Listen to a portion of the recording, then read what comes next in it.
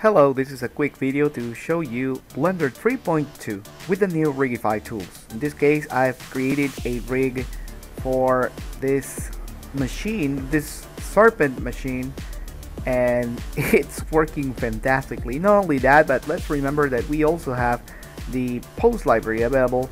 So if you double click that, it will reset. If you click there, it will come back. So why is this useful? Because when we are animating you can create strong poses store them on the asset library and later on in your animation you can just double click and bring them on key everything and then you have immediate iconic poses like this. Look at that. It's just fantastic. So this was just out of the box. I didn't even do anything new to to to rigify it's it bends it does whatever it has to do with the the rest of the body. Look at this. So it works. If the head has to turn and swivel it does.